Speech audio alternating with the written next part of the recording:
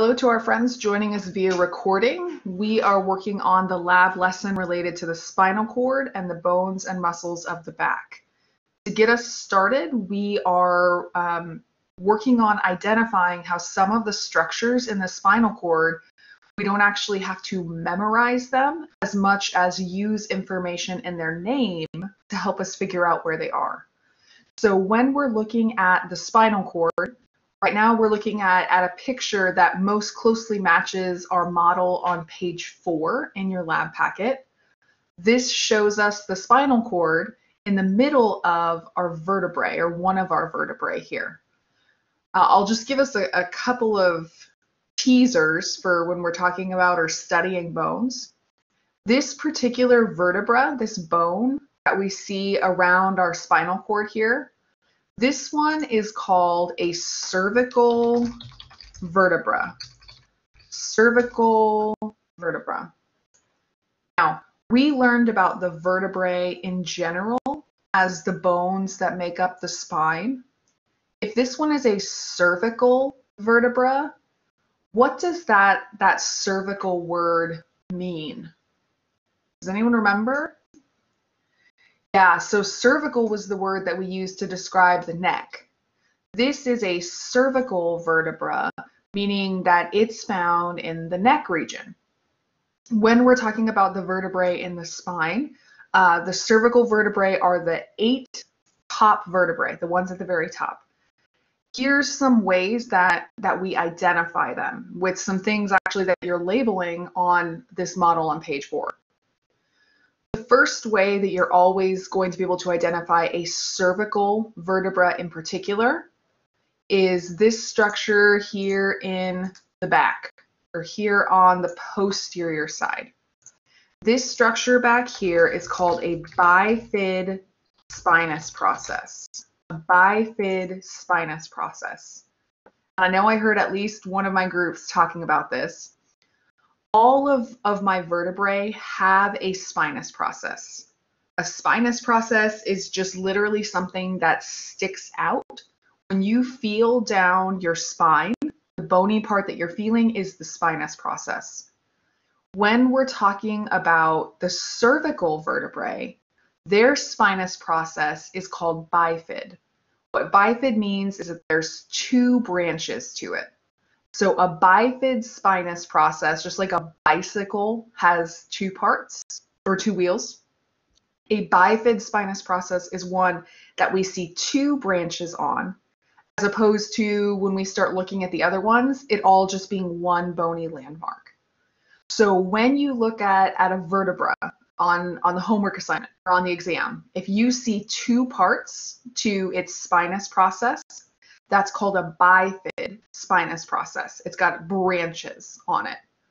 Cervical vertebrae are the only kind of vertebrae that have this bifid spinous process.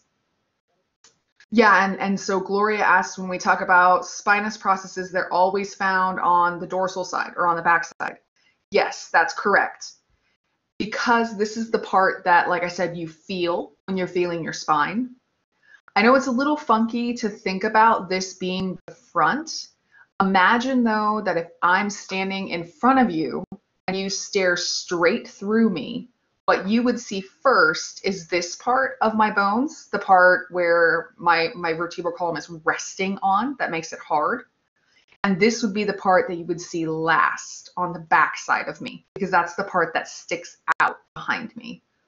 So always when we're looking at a model that shows the spinal cord inside a vertebra, whether it's a cervical vertebra with this bifid spinous process, or whether it's a thoracic or lumbar vertebra with just a regular spinous process. The spinous process is always on the back side, or it's always on the posterior side. So again, this one is a cervical vertebra. What makes it cervical? The first thing is the fact that we have uh, this bifid spinous process with two parts. The other thing that helps me to know this is a cervical vertebra are these two things right here. Here's one of them, and here's the other one of them. This is a hole. What was my anatomy word for holes?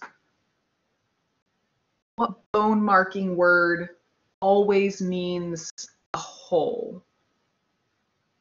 Any guesses? Yeah, so the, the bone marking word we're looking for here is foramen.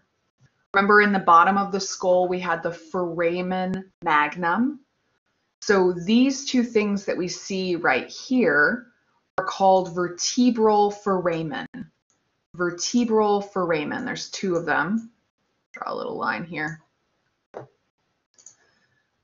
Or excuse me, they're not vertebral foramen. I apologize. Um, these particular ones scratch that. These particular ones are called transverse foramen. Transverse foramen.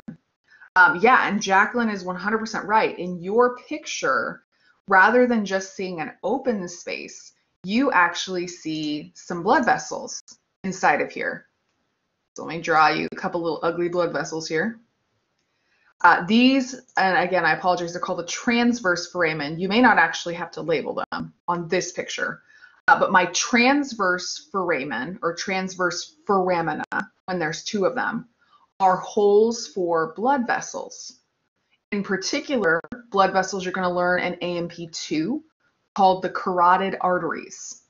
The carotid arteries send blood up to the brain. I only see the carotid arteries traveling inside these transverse foramen when I'm in the neck region when I'm in the cervical region.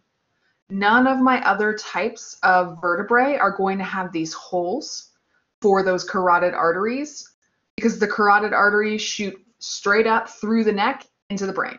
I don't need them in the chest region. I don't need them in the lower back. So if you look at a vertebra and it has a bifid spinous process, two branches back here, and it has these two big holes or these two spaces with blood vessels inside of them, like we see on our model. Those are the two things you know that always tell you this is a cervical vertebra. So I'm looking at my spinal cord in the neck region. I can see the spinal cord on the inside.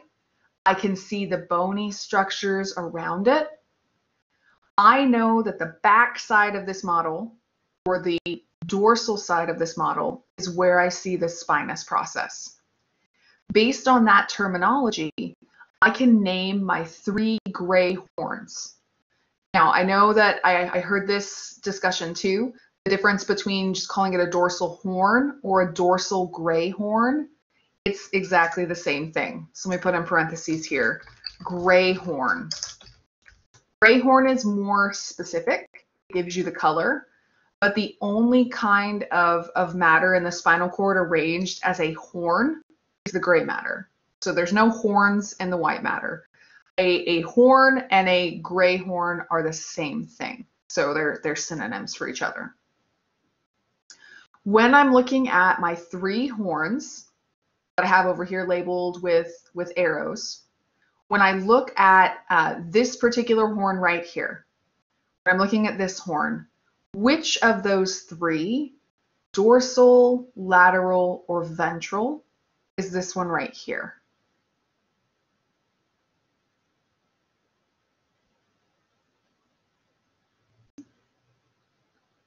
Yeah, so Gloria is voting correctly. This one is called the dorsal horn, the dorsal gray horn. I'll put in parentheses. This is the one that's closest to the back side of the spinal cord. That makes it the dorsal horn. This is the one up here that's closest to the front side of the spinal cord. What's the one that's closest to the front side of the spinal cord called? Yeah, exactly. The one that's closest to the front is the ventral horn with a ventral gray horn. And then here on the outside, the one that's farthest from the middle, sticking out toward the outside, this is the one that's called the lateral horn. The lateral horn. Now, when we're, we're looking at the three horns of the spinal cord, the types of neurons that live in each of these places are, are actually different neurons. So let's start here with our, our two horns that are closer to the front side of the spinal cord. Let's start with this one right here, the ventral gray horn. The ventral gray horn is where we find something that are called somatic motor neurons. Remove that. Somatic motor neurons. These are the types of motor neurons that control all of the skeletal muscles in your body. So if I'm trying to send a direction or message out to help you contract the muscles in your arms to take notes, the neuron that makes that happen is the neuron that lives up here in the ventral gray horn, lives here in the front. Let's say I'm not trying to send a message to um, contract a muscle in my arm. Let's say I want to send a message to contract the muscles in my stomach because I just ate something. That's going to be the job of the motor neurons that live here in the lateral gray horn. So when we talk about the lateral gray horn, this has something called visceral motor neurons. Visceral motor neurons means this is the type of neurons that controls smooth muscle or cardiac muscle. Visceral means organs. So the lateral gray horn is where I find the motor neurons that control your organs, your smooth muscle and your cardiac muscle. So the lateral gray horn on the side has motor neurons to control organs. The ventral gray horn has motor neurons that control your skeletal muscle. My dorsal horn here in the back doesn't actually have motor neurons. I don't know, has, has anyone happened to have a chance yet to, to study this? Do we happen to know what kind of neurons live in the dorsal gray horn?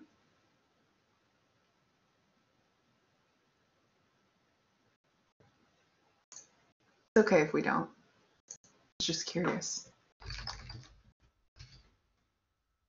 The type of neurons that live in the dorsal gray horn are interneurons. Interneurons. And we've talked about interneurons a little bit in lab before and in lecture.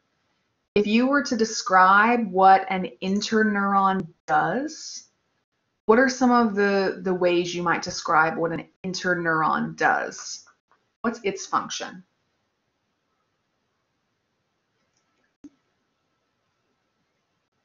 Yeah, so Monica's using the word predictions. Yep, it makes predictions for us.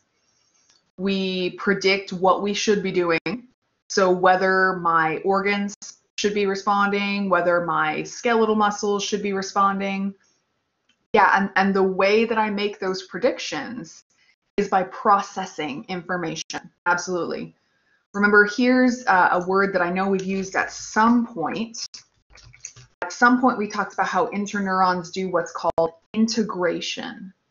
Integration, where we take the sensory information we've collected and predict what the right response would be. So my, my processing neurons, my integrating neurons live here in the dorsal gray horn. My two types of motor neurons live here in my either my lateral gray horn or my ventral gray horn. What's the one type of, what functional classification of neurons have we not mentioned? We said interneurons, we said motor neurons. Who's missing? Yeah, those sensory neurons, right? So here is a note that I want you to write down for yourself to make sure that you know this. Sensory neurons don't live in the spinal cord. I'll say it again sensory neurons don't live in the spinal cord. Sensory neurons actually live out here. So this little thing out here, I didn't ask you to label it, but it is something that we definitely have to know on the model, and we just must know this with the spinal cord in general. This is called a dorsal root ganglion. Dorsal root ganglion. The dorsal root ganglion is the place where sensory neurons live. Sensory neurons live out here.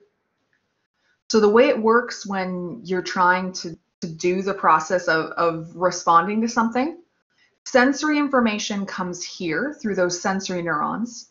They give that information to the interneurons that live here in the dorsal gray horn. And this, the interneurons that live here in the dorsal gray horn decide which type of motor neurons should respond. Whichever type is activated is going to leave the spinal cord and go out so that it can send information to the body. So here's what we've said so far. We've said that there are three types or three places with gray matter in the spinal cord. They're named with those words that describe their locations. So dorsal, lateral, and ventral. They each have different kinds of neurons in them and those sensory neurons don't live in the spinal cord. They just bring information there. Before I move to the next picture, what questions do we have, if any, at this moment?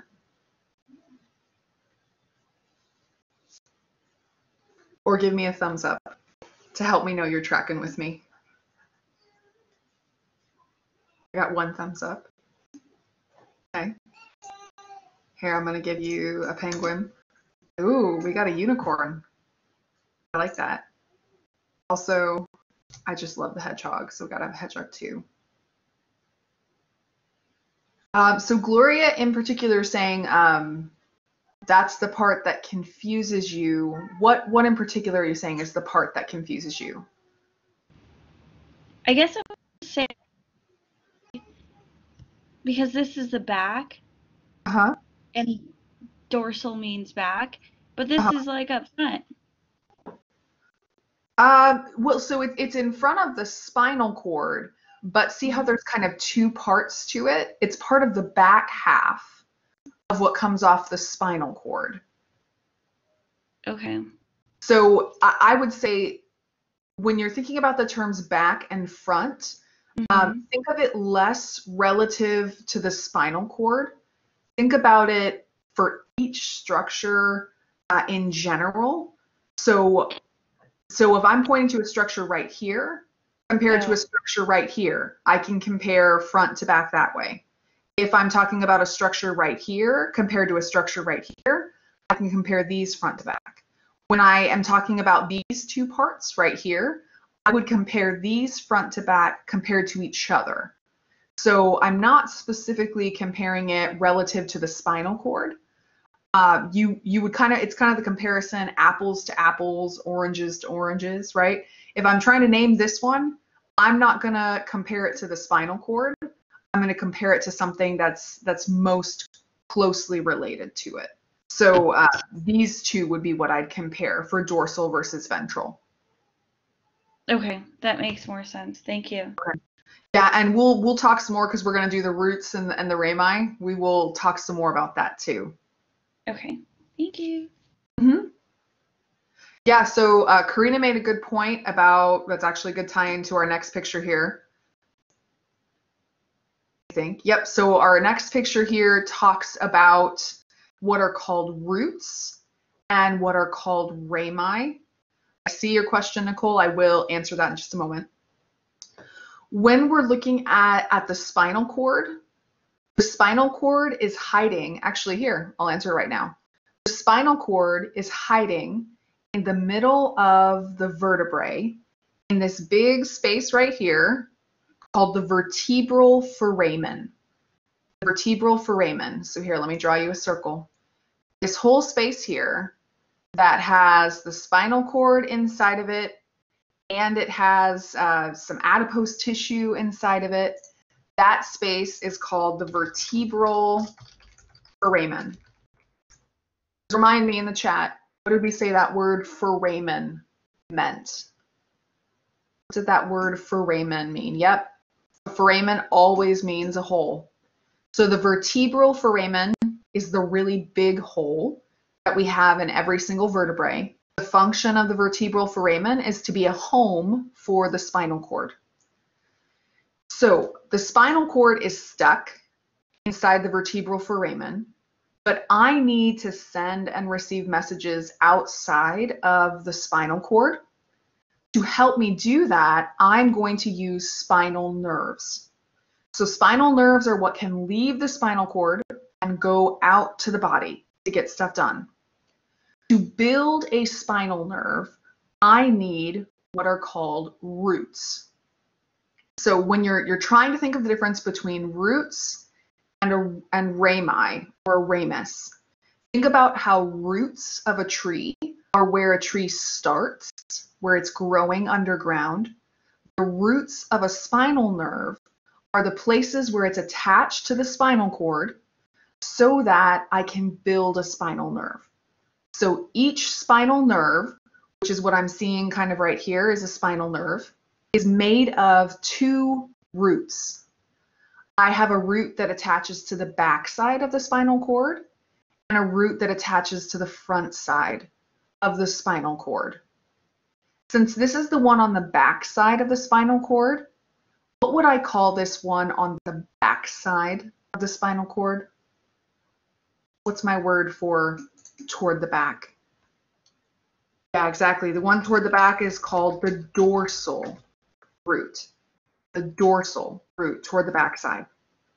The one that's toward the front then is going to be called ventral root.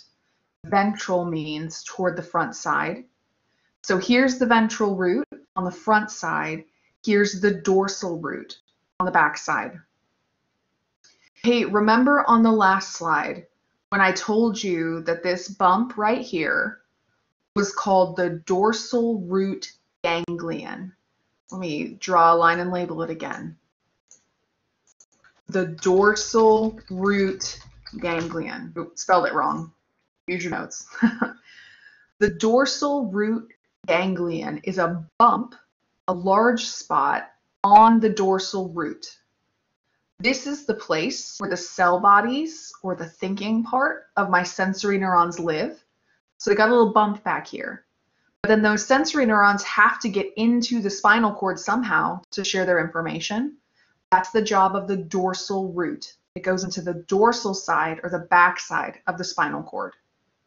Then it's going to talk to interneurons in the, the dorsal horn the interneurons figure out how we should respond, either by activating a neuron in the lateral horn or the ventral horn.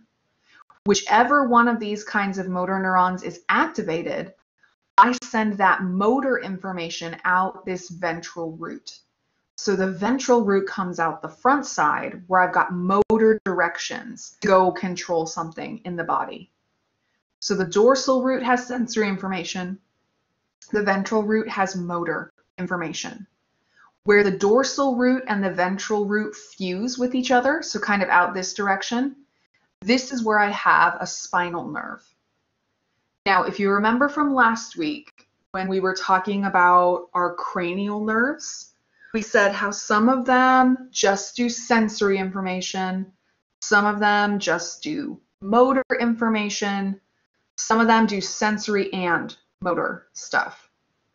When we talk about the way that spinal nerves work, spinal nerves always have sensory and motor. So spinal nerves are always made from a dorsal root that has sensory information and a ventral root that has motor information. They come together to form a spinal nerve. Now that spinal nerve with sensory and motor information doesn't stay together for very long. Pretty much as soon as I form a spinal nerve, so I switch sides on you now. As soon as I form a spinal nerve, I'm actually going to start breaking it into smaller pieces to send information or receive information different ways. So I've got a little branch right here. That's literally what this word ramus means. It literally means branch, like a branch on a tree. I've got a ramus right here that's pointing toward the backside of the body. What would I call this branch right here if it's going toward the back side of the body. Yeah, Christina's right. Always, every time in this lesson, when we're talking about toward the backside, it's always dorsal. This is my dorsal ramus. Goes toward the backside of the body, which means my other arrow is pointing toward the ventral ramus. Ventral meaning toward the front. It's going toward the anterior side of the body. Now, later in our lesson, we're going to mention things that are called a plexus. A plexus is where multiple spinal nerves share neurons with each other. They mix it all up into a big spaghetti noodle mess to form the big nerves in your body. When various rami, ventral rami, share neurons with each other, that's how I form a plexus. So this part right here, when you're looking at the, the describing the functions of it, it mentions that a ventral ramus helps us to form plexuses, meaning this neuron or this branch right here is going to share neurons with, with its neighbors that are up higher or down lower. This one right here, the dorsal ramus that goes toward the back side of the body, the dorsal ramus is going to be the one that collects information from your back or sends information to those muscles that we're learning today. So big ideas from this labeling. The roots of a spinal nerve are what are attached to the spinal cord. The rami of a spinal nerve are the branches that it makes after it's come together. And this bump right here is a absolutely must know, underline, highlight, star, must know, the dorsal root ganglion. And I spelled it wrong over here, but the dorsal root ganglion. That's, that's our must know structure because that's where my sensory neurons live. That's their, their cell body before they send that information into the spinal cord. So we've talked roots, we talked rami, Let's use dorsal and ventral. Yes, yeah, Gloria, they are on both sides. All of these structures, I just had you label them on one side, but they're on both sides. So uh, keep that in mind. You can label it on either side. I don't care.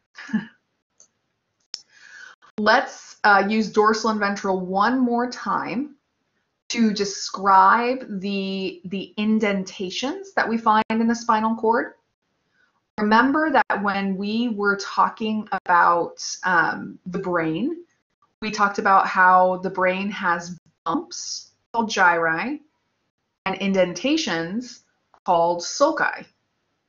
And we said that the left and the right half of the brain are divided with the longitudinal fissure. These words that you see here are the same words that we use in the brain. So you're not learning new words for, for indentations. We're seeing them again in a different way. We have what's called the dorsal median sulcus and the ventral median fissure.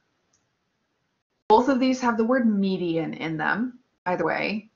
Median just means we're in the middle. So a sulcus or a fissure, both of these are indentations. Which one of these, dorsal or ventral is going to be the one right here. What would this one be? Dorsal or ventral? Yeah, this one's going to be my ventral one, right? So my ventral median fissure, ventral median fissure. Ventral means I'm on the front side. Median means I'm in the middle. Fissure means I'm an indentation.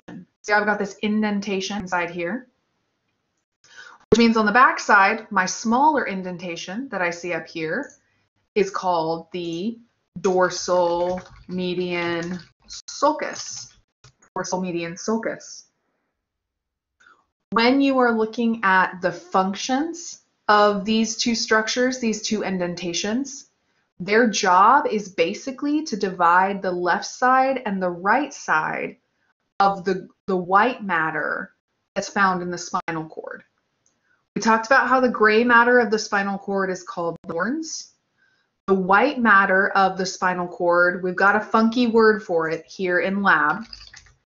The funky word mat, uh, for it in lab is called funiculi. Funiculi. In lecture, I'm uh, I'm gonna have you use the word tracks because it's actually English. uh, but my technical anatomy word for what we call the white matter in the spinal cord is we call it funiculi. That's just a, a way of saying I've got groups of neurons that all travel together. Either they go up the spinal cord together or they go down the spinal cord together. They're arranged in what are called funiculi. Or, like I said, in lecture next next unit, we're going to call them tracks. So white matter tracks, the groups of white matter in the spinal cord, are divided in the back by the dorsal median sulcus and in the front by the ventral median fissure. Two dividing lines. So by process of elimination, we know that this little dot right here is called what? What's this thing here in the middle? Yep, the central canal. The central canal. Hey, who happens to know what's inside the central canal? Yeah, Karina is actually right. The central canal is a place in the very middle of the spinal cord where I find cerebrospinal fluid. So the central canal is actually connected to uh, the ventricles in the brain. At the very bottom of the fourth ventricle, if you look at it and see where it goes down through a tube, it actually goes into or connects to the central canal. So this is the cerebrospinal fluid tube, fluid-filled tube here in the middle of the spinal cord. There's cerebrospinal fluid in the middle of the spinal cord there's also cerebrospinal fluid outside of the spinal cord. The cerebrospinal fluid that's outside of the spinal cord is found in the same space or the same area as it was found in the brain. What was the name of, of the place outside of the brain where there was cerebrospinal fluid? Does anyone happen to remember? Yeah, Nicole's right. It's a big, long one. The subarachnoid space was the place where I found cerebrospinal fluid outside of the spinal cord. And I actually find it, at, or outside of the brain, excuse me. It's the same place that I find it outside of the spinal cord too. So if we're making a, a comparison, how things in the brain are similar and how they're different, a central canal, central canal in the middle of the spinal cord is kind of like those ventricles in the middle of the brain. The subarachnoid space is exactly the same between the spinal cord and the brain. So speaking of the subarachnoid space, that brings us to the last thing that we labeled on our model here. Subarachnoid space. Sub means I'm underneath something. Based on its name, the subarachnoid space. What am I underneath? The subarachnoid space. Yeah, Christina's right. The subarachnoid space is underneath the arachnoid mater was the arachnoid mater superficial, intermediate, or deep? Which of those words did we use to describe the arachnoid mater? Yeah, the arachnoid mater is the intermediate or the middle meningeal layer. If you notice here, I've got this white layer with the little stringies pointing down from it all those little stringies are the spider webs that we find giving it its name. It's little collagen fibers that come off of the arachnoid mater, making it look like a spider web. So my intermediate meningeal layer is the arachnoid mater, right here. What was the name of the thick layer that was most superficial? What's this outermost layer called? Thick one on the outside. Now, the very outermost layer, the thickest layer around the brain or the spinal cord is called the dura mater. And the thinnest layer, one that's directly attached to the spinal cord and directly attached to the brain, is called the pia mater. So the pia mater closest to and attached to the spinal cord, just like it's attached to the brain. The dura mater, uh, the thickest outermost layer that that's here on the outside of the spinal cord, also on the outside of the brain, and then that arachnoid mater there in the middle. Here's a, a lecture teaser for you. If someone is having their cerebrospinal fluid tested to see if they have what's called meningitis, which is when these meninge layers get inflamed and they put pressure on the brain and the spinal cord, what we'll actually do is insert a needle into this subarachnoid space around the spinal cord to collect some fluid from there. So you'll learn more about some uh, something called a spinal tap. That's what it's called when we take out cerebrospinal fluid. That comes from this subarachnoid space underneath the arachnoid mater, which is that intermediate layer of the meninges. these are all the things that you labeled with your groups. Let me um, pull up the model that you have on page four. Were there any other structures from this model that you wanted me to help you label, or did we hit, oh, I'll just put it there. Are there any other structures you'd like me to help you find? or give me a thumbs up.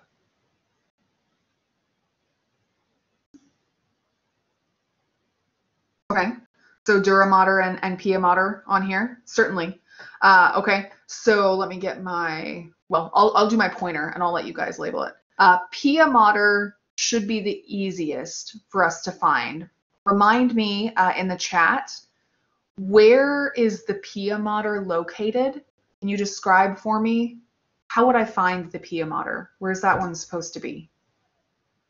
Yeah, the deepest one, right? So it's going to be the one that's going to be attached directly to the spinal cord. So see this white layer right here? That's all along, it traces all along the outside of the spinal cord. That white layer is the pia mater. So I guess it looks like it's labeled number 24, pia mater, right here. Number nine right here is the most superficial layer, or the thickest layer here on the outside. What was that thickest layer called? Yeah, so, so number nine out here on the outside, that's the dura mater, number nine. Number 12 is the last meningeal layer. This is the layer that looks like spider webs. So number 12 is my arachnoid mater.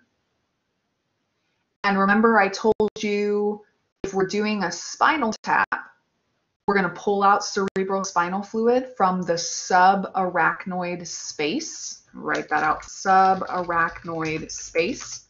It's not one you have to label, but I, I'm mentioning it to say that you can see number 13. See right here, all this gray space right here? That's the subarachnoid space.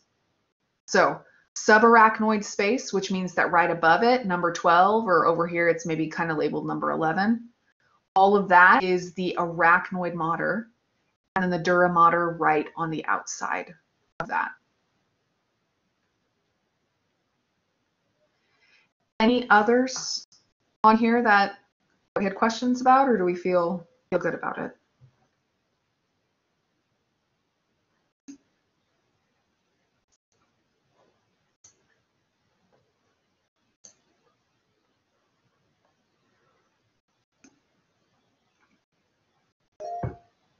Yeah, for it, Christina. just real quick, um, let me, can I get my pointer out and point? at- Um, if we're talking about the ramus, then this would be the dorsal ramus and this would be the ventral ramus. Correct. Yep. Okay. Yeah, because this one's angling back toward the backside, this one's angling toward the front. So, yep, that's correct. Okay, thank you. And here's that thing. Remember, I, I mentioned that dorsal root ganglion. Gotta gotta know this guy right here. It's also over here as well. So, like we were we were having that that moment of realization in the chat. We do have them on both sides. So I, I can see my my enlargement right here. I can see my enlargement right here. Both of those are my dorsal root ganglion. So we labeled this model. Um, yeah, so I think that's where I'm going. You'll have to when I pull up some new pictures, Nicole, you have to tell me if, if that's where we're where I was thinking. Um, we labeled all the stuff on a model that shows the spinal cord inside of vertebrae.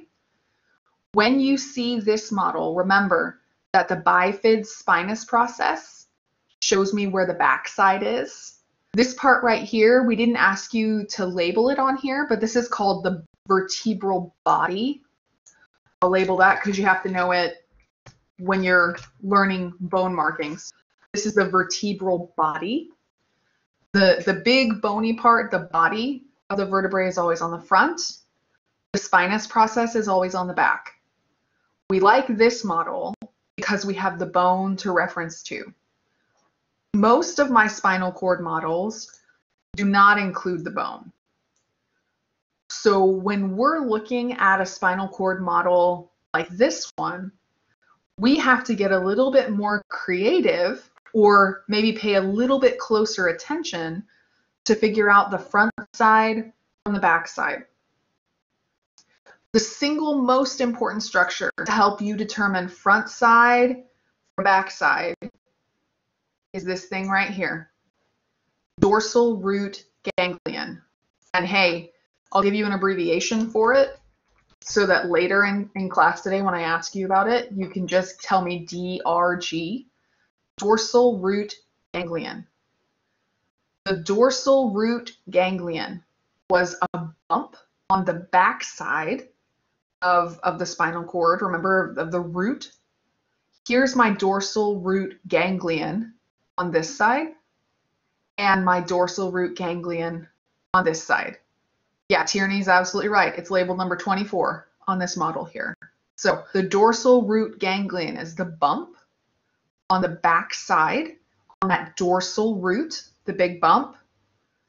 The first thing you should be looking for when you sit down to any of these other spinal cord models that don't have the vertebrae around them, the first thing you're looking for is this bump, the dorsal root ganglion. So I can see it right here on this model. I can see it right here on this model. I know it's a little bit not super clear for you, but this is a cell body. That's this big red dot right here. This neuron, let me draw it for you. I know it's hard to see. This neuron looks like this. Does anyone remember from our neuron discussion this neuron has one extension coming off of its cell body. Yeah, here's where that unipolar word comes back. So the neuron that's found back here, the sensory neuron, is a unipolar neuron. So the reason I have a ganglion, the reason I have a bump back here is because this is where the cell body is found. This is where the, the head, if you will, of the neuron is found. So the dorsal root ganglion is right here, which tells me then that this is the dorsal horn, that this is the ventral horn. Here's my, my weird looking lateral horn out here. So that dorsal root ganglion, first thing we look for on every model. One last model. Use your pencil up here. Let's find our dorsal root ganglia. Can we circle our two dorsal root ganglia? Grab that pencil. I want us to do some awesome coloring. Here we go. got a lot of blue going on. That wasn't the default color, I would say we're all feeling pretty down, right? That's perfect though. Yep, my, my dorsal root ganglia. There we go, we got some green. it's the bumps that I find on the back side of both of, of these, these roots here. Remember, this is the dorsal root and the ventral root is in front of it. They come together to form the spinal nerve. Yeah, so just where I was getting, Jacqueline, is is the spinal nerve is the places. So here, I'll I'll clear this off. The spinal nerve is where my dorsal root and my ventral root meet. So here's some spinal nerve right here. Here's some spinal nerve right here, down a little bit lower, because I've got another dorsal root and another ventral root. Up here, we've got a dorsal root and a ventral root coming together to make the spinal nerve and the spinal nerve. So a spinal nerve is just where those two roots fuse together. Any other questions about these pictures?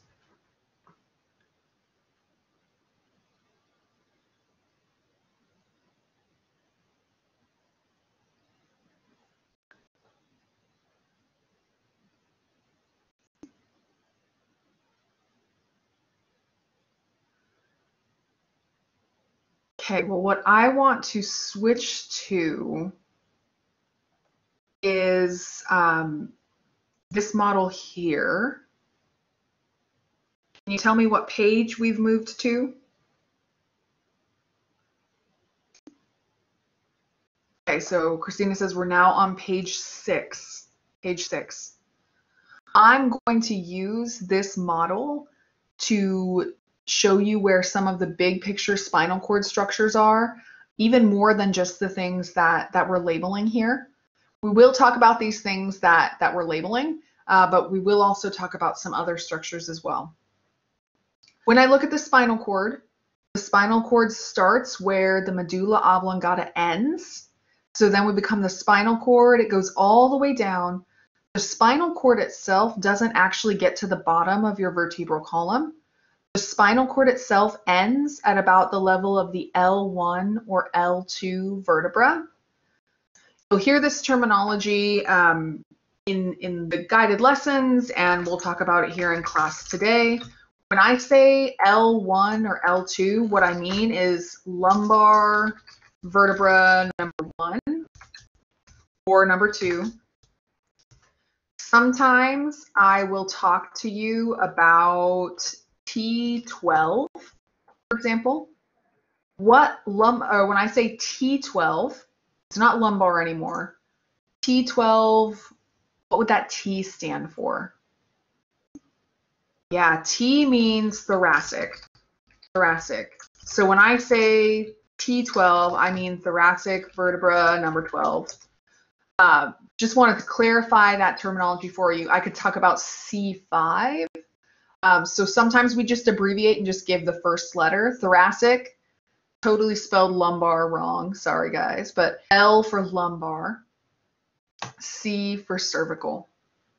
When I look at, at my spinal cord here, it ends around L1 or L2. So the end of your spinal cord is not all the way at the bottom of the spinal column. It's here around L1 or L2.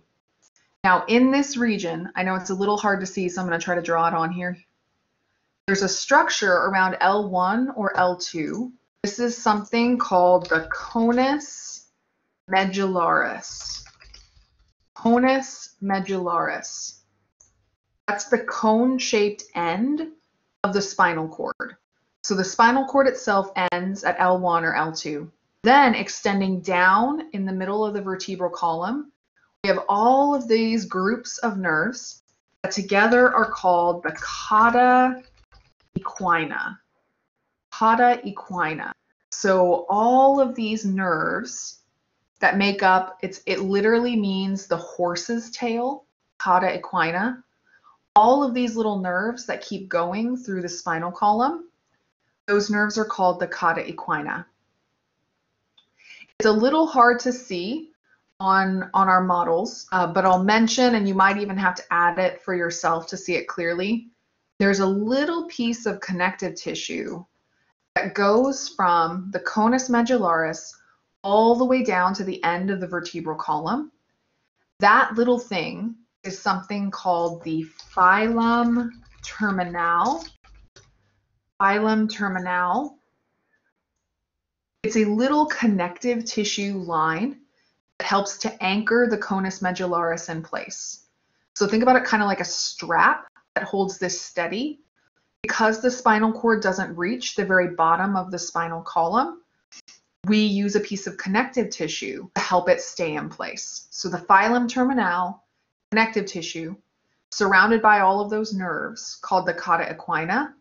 The cauda equina nerves are the things that come off of this cone-shaped end of the spinal cord right here, called conus medullaris. The spinal cord has a few places where it's a little bit larger than normal. So one of the places where it's larger than normal, we can kind of see it right here, where it gets a little bit wider, and we can kind of see it right here, where it's a little bit wider. These are things that are called the enlargements. So the top one, unsurprisingly, is called the cervical enlargement. And the one down a little bit lower is called the lumbar enlargement. These enlargements are places where the spinal cord gets a little bit wider because a bunch of nerves branch off of the spinal cord there. When I look up here at the cervical enlargement, where does it look like these nerves that are leaving it, where are they going into? What part of the body do these nerves go to? Yeah, they're they're going to form something called the brachial plexus. They're they're going to end up down inside the arms. So the reason I have this this cervical enlargement where my spinal cord is a little bit larger in the cervical region because this is where the nerves for my arms branch off. And down here, my spinal cord gets a little bit larger to get us ready for this cauda equina, where all of these nerves go down into the where are these nerves going? Can we tell? Promise it's not a trick question. yeah, Nicole's right. My, my lumbar enlargement, my, my conus medullaris, those are places where the nerves branch off that are going down into the legs. So lumbar enlargement is where nerves for the legs come from. Cervical enlargement, where nerves for the arms come from. I think that's all of the big picture structures on the spinal cord that I wanted to mention. I'm going to clear things off and we're going to start talking about these things. When I look at the spinal cord, I have four plexuses. When you see this word plexus, I want you to think of a place where nerves are sharing their neurons with each other. So the goal of a plexus, the reason plexuses are good for your body is because if I damage one of my spinal nerves that comes off of the spinal cord, I might still be able to send or receive information from parts of my body because this spinal nerve is sending and receiving information that also comes through this one and might also come through this one or this one. Um, think about it. There, there's a word called redundant, where there's there's more than one thing that does the same thing. That's what's going on with the plexus. More than one spinal nerve sends or receives messages uh, for each of these parts of the body. That's why I have a plexus. The names of these plexuses are regional terms. So it's it's not a trick question when we think about where these different plexuses are found, it, it's just those regional terms that we talked about. So let's do some brackets and see if we can name them. Here is one plexus right here. Here is one plexus right here. See how my nerves are, are kind of weaving together and, and forming big things? I've got one plexus up here. Actually going to move that one out a little bit. And I've got one more plexus right here. From my list of plexuses, Which of those plexuses do you think is the one at the very top? What plexus is my top bracket all the way up there? Yeah, exactly. My, my top plexus up at the very top is what's called the cervical plexus. It's in the cervical region. My nerves that I make from the cervical plexus are going to go up into the face. They're going to go into the neck. So my cervical plexus takes care of stuff kind of in this region. Next, we have this, this plexus. It's going to help me to take care of the arms. It's going to make those big nerves that take care of the arms. Which of my plexuses would this one be? Right here. Yeah, absolutely right. This plexus up here is called the brachial plexus, the brachial plexus. All of the major nerves that go down into your arm come from, or they start from, the brachial plexus. I have two plexuses down here in the lower back. Would it be lumbar or sacral that's up a little bit higher? What's my, my higher one? Yeah, so remember that the lumbar region was the the lower part of your back. And then we had the, I don't know how to make that easier to see. Sorry. Um, we had the sacral region that was down around the sacrum. So the sacral plexus is the one that's down lowest. Sacral plexus, by the way, the way you're going to recognize this one is it makes this huge nerve right here, this huge nerve that I see down here in the bottom. That huge nerve is called the sciatic nerve, and that is the largest and longest nerve in the body. That's how textbooks will describe it. So we'll label this on, on my next slides because you can see it a little bit better, but this big nerve that I see right here, that comes off of the sacral plexus the lumbar plexus is in the lower back. It, it also makes some some uh, nerves that go into the leg, but not that really huge one. And then the brachial plexus makes stuff for the arms, the cervical plexus up here in the neck. You need to learn some particular nerves. I'm going to move that again. Some specific spinal nerves on, on this model here. And this is an example of a time where I do think that uh, Visible Body is going to help you. I would encourage you to use, I think it's called like the nervous system practice activity in there. Use that to help you start locating these nerves in 3D too. We'll label them here on our model, but uh, you also have to find them 3D in Visible Body. So let's start with uh, this nerve up here called the axillary nerve. Where did we say the axillary region was in the body? Yeah, so the axillary region is, is the armpit region, right? So the axillary nerve is a nerve that travels through the armpit region and stays up top in the upper arm. The axillary nerve is what I see right here. This nerve that wraps around your humerus that travels through the armpit region here in the back this is the axillary nerve. I'll type its label here. Now, one of the activities that we're asking you to do with, um, with these spinal nerves is rather than memorizing what exactly they do, we want you to predict what they do. So here's how we would do this. This axillary nerve lives up here in the shoulder. Does anyone remember what's the name of the muscle that lives here in the top of the shoulder? Yeah, exactly. The deltoid muscle lives up here in, in, the, in the shoulder.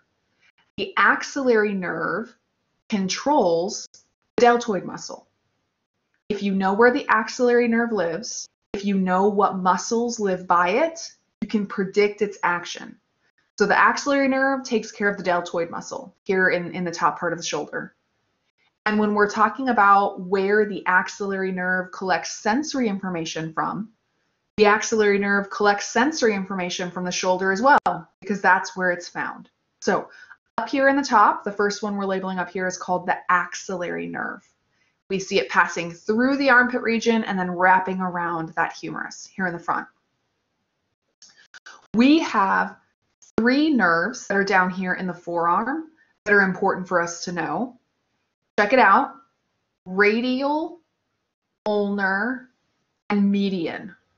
All three of those, radial, ulnar, and median, are found down here in the forearm. Not a trick question, I promise. When I point to the one in the very middle, who do we think this middle one is? Not a trick question, I promise. Yeah, exactly. The one in the middle is the median nerve. Median nerve. Okay. Now we have to look at figuring out which bone we're seeing on these two sides to help me out with radial versus ulnar. Here's my pinky. I got a little chopped off here, but here's my pinky. Here's my uh, my thumb. Which bone is on the thumb side? Who's on the thumb side? Yeah, this is the radius side, right? So this little nerve here, right next to the radius, is called the radial nerve. I'm gonna draw a line for that one. Radial nerve, right next to the radius. So the ulnar nerve is gonna be the one that's next to the ulna. Now I want to point out, we're not gonna be tricky and ask you about them on, on this hand over here. This hand has flipped over and now the thumb is on this side and the pinky is on this side. Since the thumb is over here, which nerve am I seeing right here? If the thumb is over here. Yeah, so so if we were being tricky, which we won't be that tricky on you, but if we were being tricky, let me add my, my lines. Technically on this other side, we are seeing the radial nerve because it's on the thumb side and the ulnar nerve here on the pinky side. Radial and ulnar, they're found next to the radius and the ulna, the median found in the very middle. The last one we have left is called the musculocutaneous nerve. And the musculocutaneous nerve is this one right here, musculocutaneous. The musculocutaneous nerve is found arm region. The median, radial, and ulnar nerves are all down here in the forearm region. So major nerves, all of these were the major nerves of the brachial plexus. Make sure we can identify each of these. Then we transition into the major nerves of the lumbar and sacral plexuses. So this is a mix of both of those plexuses. Does anyone remember which nerve did I say this really big one was? Who's the really big nerve? Yeah, so the really big nerve that I can see kind of on both sides here, that's the sciatic nerve. Sciatic nerve. And if you've ever heard of someone with sciatica, or if you've ever had sciatica, that's when this really big nerve gets angry. So it's the biggest and the longest nerve that we have in the body. When that really big nerve gets angry, it's, it's pretty painful. Anyone who's had that, I had that with pregnancy, with both of my pregnancies. Not fun. Uh, sciatica.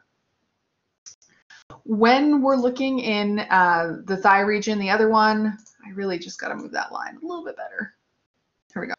Um, th there's one other nerve in this thigh region that I want to point out here in the middle.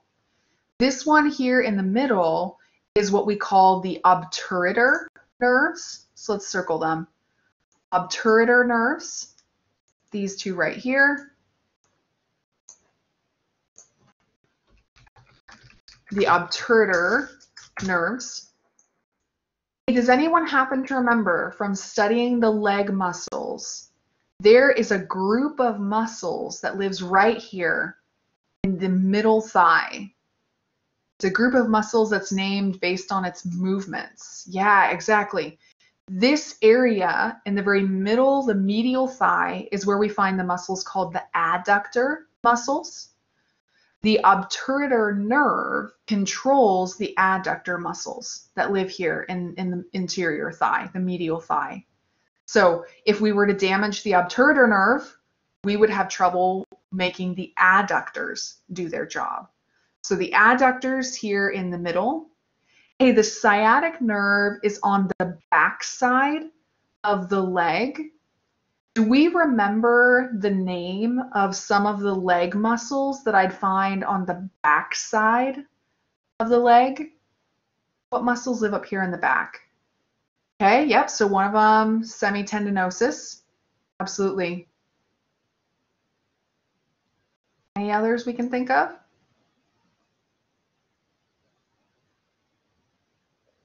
Who's next door to semitendinosus? Remember? Oh, it's fine, Christina. It's hard to spell. About biceps femoris. That'd be another one on the back side. Um, by semitendinosus, there's also semimembranosus. So some of those muscles that live on the back side of the leg are going to be controlled by the sciatic nerve, that one there. The femoral nerve, and I, have kind of messed up the way that I did that here. We're going to take off our labels for the sciatic because you guys can find that one. The femoral nerve runs down and parallels the femur so here I'm going to kind of draw a little bit of it for you or put a box around it. The femoral nerve right there, and you can see the femoral nerve over on the other side.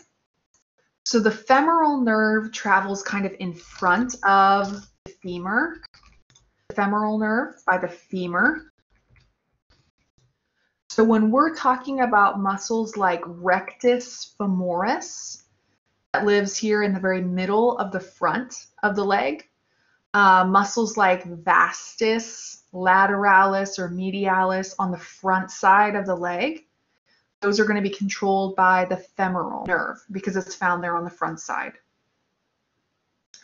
When we look down here into the leg, uh, the last thing for us to, to label are our fibular and tibial nerves. So the fibular and, and tibial nerves, when I'm looking at those ones, it, it's a branch. We're, we're basically comparing front side versus back side. So when we're looking at um, the one here that's hugging the tibia on the back, the one that hugs the tibia on the back is the tibial nerve. And the one that here we're seeing toward the, oops, my pencil back, we're seeing toward the front side is the fibular nerve. We're seeing it toward the front. It's kind of on the front right next to the fibula. So the fibular nerve more toward the front side, the tibial nerve more toward the back side. I guess technically here, let me label it the way that, that we're learning it, the common fibular nerve. That means common means it branches. Uh, so common fibular nerve, just like the, um, the fibular nerve in our terminology. What questions do we have right now that we can think of? Can we see them on the other leg? Uh, we can. It's it's a little bit dicier. Um, here, let me clear. I'm going to clear everything off just so that we can see that other leg a little bit better. On this other leg, the tibial nerve is right there. So I put the name. Oops, spelled it wrong. Remember that the tibia is, is the medial bone. So the tibial nerve, I can see it kind of here, parallel to the back side. The fibular nerve is going to be over here on this outside. So the fibular here on the outside toward the front, the tibial nerve a little bit deeper, uh, more toward the back side by the tibia. So let's draw our line here.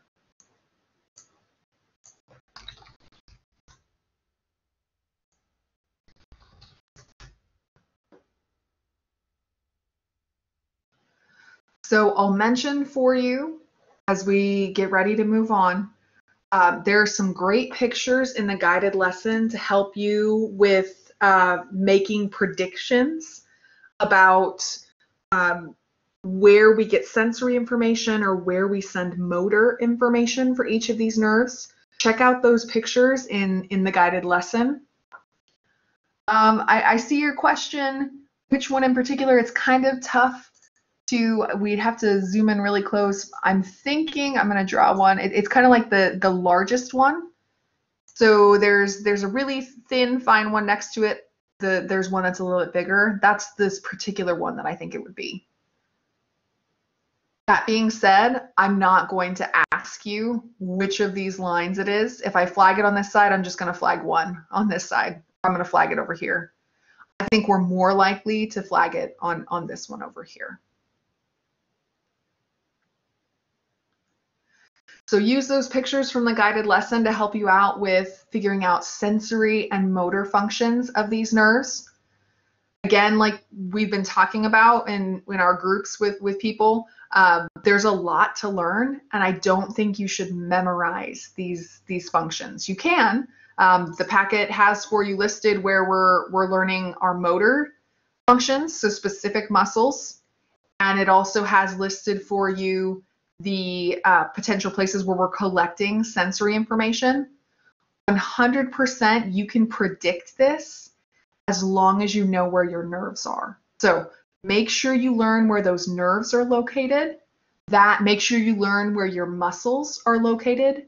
If you know those two things, I promise you, you can make these predictions. But the guided lesson has some good pictures to help with that as well. I know I had some requests for muscle movements. Let me make sure we talk about muscle movements and then we can see how much time we have left to decide where else we want to go. When we talk about the muscles of the back, uh, where the muscles of the back are where we're focusing their movements on is what they do to the upper arm. So in particular, we're talking about movements of the humerus. When I move the humerus, that's going to move the entire arm because the humerus is the most proximal bone in the arm. So there are two major movements that we're wanting you to learn this week when we're thinking about um, what the humerus does. The first thing that we're thinking about that the humerus does is flexion and extension. The second thing that we'll talk about here in a moment is abduction and adduction. When we think about flexing your humerus, think about when you, we actually can see both of these movements here when you think about going bowling. So when you pick up a bowling ball and you swing it toward the back, um, when your, your whole arm goes backwards, we're extending. When we release it toward the front, we are flexing. So remember that flexion means we're, we're making angle smaller at a joint. So in the case of, of um, the shoulder joint, you're moving your arm forward.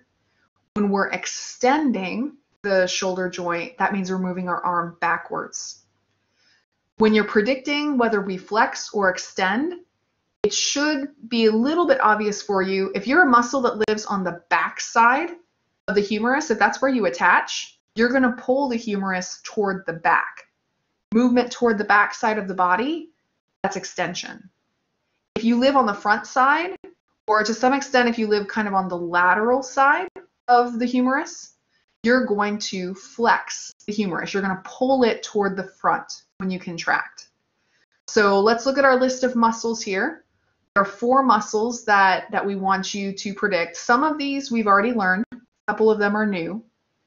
When we talk about the deltoid muscle, which of these words Anterior, lateral, or posterior.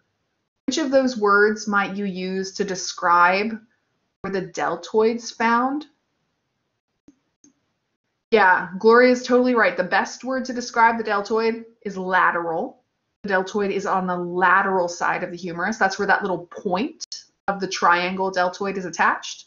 Since the deltoid is attached to the lateral side of the humerus, the deltoid helps to flex it. It's found on the lateral side. So my deltoid flexes the humerus. I know we've studied pectoralis major. What word would we use to describe the location of pectoralis major? Yep, Pectoralis major is an anterior muscle. So anterior muscles also flex. Lateral flexes, anterior flexes. Do we have any idea um, of what where latissimus dorsi is found? That's one of our new muscles this week. Yeah, this is a muscle on the back, absolutely. So latissimus dorsi, I guess we could, look, hey, check this out, guys. Dorsi, what word does that look like that we used all over the place at the beginning of our class? Exactly, dorsal. I totally legit just made that connection with you guys here in class. So Dr. Ahles learned something new today or realized something new today. Latissimus dorsi is a, a, big muscle kind of in your lower back region. So it attaches to the back side of the humerus, which means it's going to do flexion or extension. Attached to the back. I'm going to do extension. Latissimus dorsi does extension. Teres major is a small muscle. It's a new muscle for us this week. Teres major is on the back side. It's attached to the scapula. Teres major is also going to help with extension because it's attached to the back side of the humerus. So when you are learning, and again, I want you to memorize the rules, not the specific examples. When you're memorizing flexion and extension for the humerus, remember, if I attach on the front side or the outside, the lateral side, I'm going to do flexion. If I attach on the back side, I'm going to do extension. Learn those rules and then use what you know about the locations of muscles on the homework assignment or on the exam to predict the answer. Here's the other movements for us to know. Abduction and adduction. When we talk about abduction, this is when, uh, so I know somebody had asked for examples of some of our movements. There's a really great one for abduction. If you've ever sat down in that machine, they might call it, uh, well, I don't know what it's called because it's not a shoulder press, um, but it's when you put the, the, pads next to your shoulder and then you kind of flap your arms out. Um, that's what's going on with abduction. Abduction is the example I gave you guys when an when an alien comes and abducts me and my arms go up. So abduction at the shoulder joint, adduction is when we bring it back down. If you live on the front or you live on the outside, when you contract, that's going to lead to abduction. That's going to pull the arm up. If you attach on the back side of the humerus, you're going to pull the arm back down.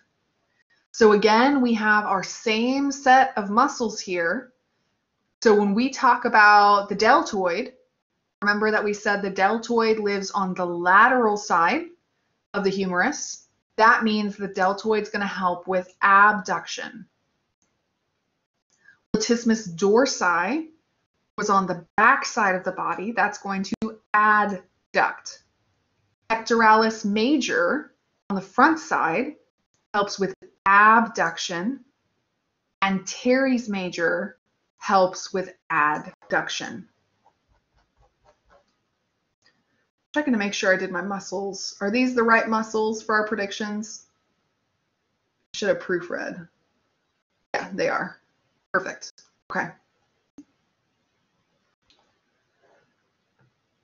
So with predicting our actions, that brings you to our favorite activity here at the end. I say that sarcastically, right? Because I know it's not our favorite.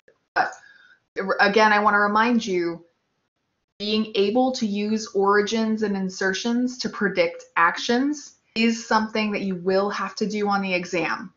I'm going to not give you names of muscles. I'm going to give you origins and insertions and ask you to predict what's going to happen. So let's do this activity together to help us with our predictions. So we're talking about the muscle latissimus dorsi. Oh, here, let me show you latissimus dorsi before we dive in. Latissimus dorsi is this muscle right here. So if you've ever um, seen the machine that's called a lat pull down, when you're, you're pulling something down with your arms, latissimus dorsi, that's this big muscle right here. Who can tell me the name of this one right here? Do we know the name of this one? Big one in the upper back. My hint is it's shaped like a trapezoid. Yeah, Christina's right. This big one up here is trapezius. So your big back muscles, trapezius up higher, latissimus dorsi down a little bit lower. So we're going to work on figuring out what latissimus dorsi does here. So I'm going to start by labeling, um, they call it the trap muscles at the gym. Yeah, so short for trapezius, trap muscles, absolutely. We're going to start with the origins of latissimus dorsi. It's been a while since we talked about this. When a muscle contracts, the origins do or do not move when a muscle contracts. Yeah, the origins do not move. So the first thing I'm labeling for my latissimus dorsi muscle is I'm labeling the places where it attaches where the muscles are not moving. Yeah, the place that that insertion is going to move toward. So we're talking about the spines or the spinous processes of T6 through L5. So I'm totally just going to guess. You can just guess too where T6 is. T6 to L5. L, by the way, here's that terminology I mentioned, right? T6 and L5 what did T stand for again? What was T? Yeah, T is thoracic. So thoracic in the chest region. And then L5, L was that, yeah, that, that lumbar region, right? L5. So this muscle attaches from the middle of the thoracic vertebrae, number six, all the way down through number five of the lumbar vertebrae, and it attaches on the iliac crest. Remember that the iliac crest was that thing that you can put your hands on. So the iliac crest, when you put your hands on your hips, that's what you're touching. So here's my iliac crest. Here's the spinous processes of those vertebrae I see here. These are my origins, my places that don't move. Now we're going to go to the insertions, the places that do move. Everyone's favorite bone marking, right? Intertubercular sulcus. Inter, in between. Does anyone happen to remember what this tubercular part means? It's a super weird word. I'll draw about where it is for us right here. That tubercular word, let me switch out of green, means a tubercle. Tubercle. Oh, I think I spelled that wrong. Um, the tubercle was a bump. Remember that we had a greater tubercle and a lesser tubercle up here at the top of the, the humerus. This is my insertion point my insertion point and my origins, then we're going to do a little connect the dots, right? We're going to connect things together. So what happens when this muscle contracts is this part of my bone is pulled toward this part of my bone.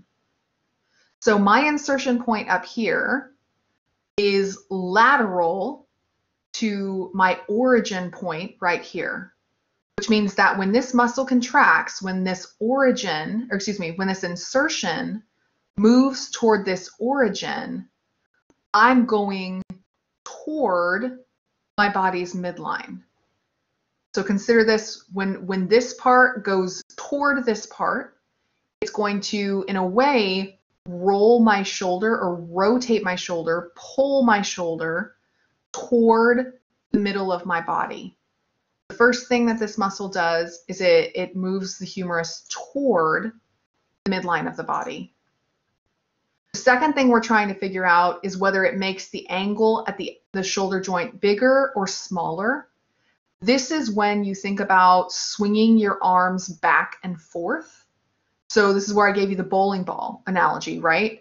So when my arm swings forward with that bowling ball to release it, that would be decreasing, uh, decreasing the angle because we're going from a wide angle to a small angle. We're pulling it forward. Increasing the angle is when we pull it backwards. These are fancy words for extension or flexion. Extension or flexion, when we increase or decrease our, ang our angles at those joints. When I move this insertion toward this origin, I'm doing the process of extension. I'm pulling my arm, my whole arm's going to move with it backwards, the process of extension. So the angle at that joint is going to get bigger. I'm going to pull it farther behind where it started. The two movements of latissimus dorsi, the muscle that goes from the spine and the hips up to the shoulder, we're going to pull your arm backwards as if you're pulling that bowling ball back to release it. And we're also going to do adduction, where it pulls that arm back down next to you.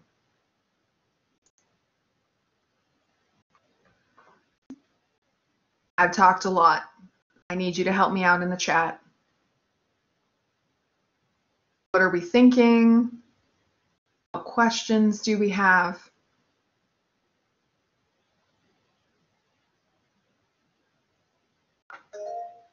Go for it, Christina. Um, back to page 14 where we were talking about movements. Um, Mm-hmm. I think there might be a typo in the packet because you were saying that the major abducts, abducts the humerus, but it says on the packet that muscles attached to anterior and Oh, posterior side. So I apologize. The, the packet is actually correct. My slideshow is incorrect. Oh, Um, okay. yeah, so uh, I will. Are there any questions on this slide before I leave it? Because my markings are going to go away. Because I'll go back and we'll fix that together. Thank you for mentioning that for me, Christina. Problem. No problem. So here, let me show you all what what Christina. I'm sure you all already found it, but let me show you what she was was mentioning, and that was yep, that was a typo error. That was a copy and paste error. Gonna be gonna be real here. When we're talking about adduction, the only types of muscles that can do abduction are muscles that live on the lateral side. If you live on the front or you live on the back, you always adduct. You always pull it to the middle. So that was, I apologize, a copy and paste error there. Uh, if we attach on the outside, the lateral side, we're going to pull the bone up. If we attach on the front side or we attach on the back side, when I pull on you, that's going to pull you back to the middle. So your packet's correct. Study your packet, not my copy and paste error there. So really the only abductor we're learning this semester is latissimus dorsi. Or just I, I'm just my coffee's done. It's not helping me anymore. I circled the right thing and said the wrong thing. Apologies. The only abductor we're learning is the deltoid muscle. The deltoid muscle does abduction. Everybody else on your list is is doing adduction, pulling things back together.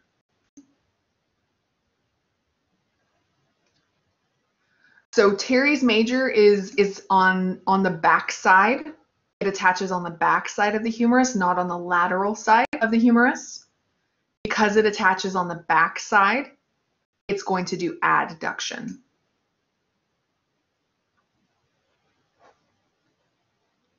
So here, let's pull up our muscle man here. Our only muscle that that is attaching here on the lateral side of the arm is um, my deltoid muscle right here. When we talk about latissimus, that's going to attach here. Uh, uh, it's on the back side of the body. Um, I'm going to mix up my teres here. I believe, and we'll have to fact check me here. Um, I believe this is teres, but I need to fact check that.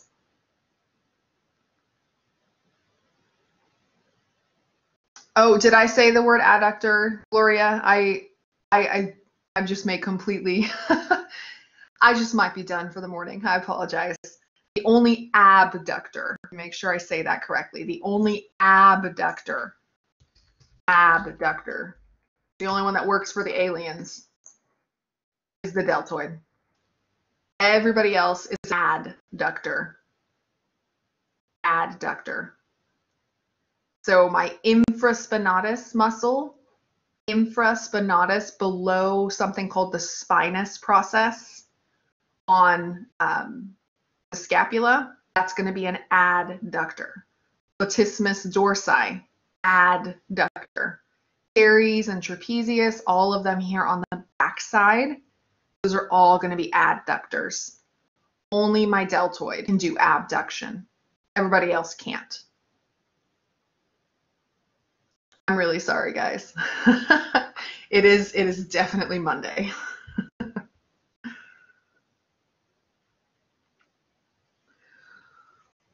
we are about out of time. Are there any other particular things that we wanted to chat about before we called it a day?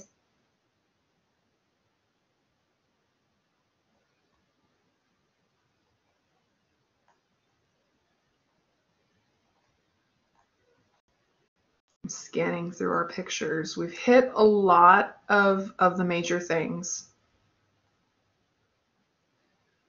I mentioned it at, at the beginning of class today. If you have particular questions, if there's things that you want to work through with me, I have office hours today from 5 to 6.30 and tomorrow from 11.30 to 1.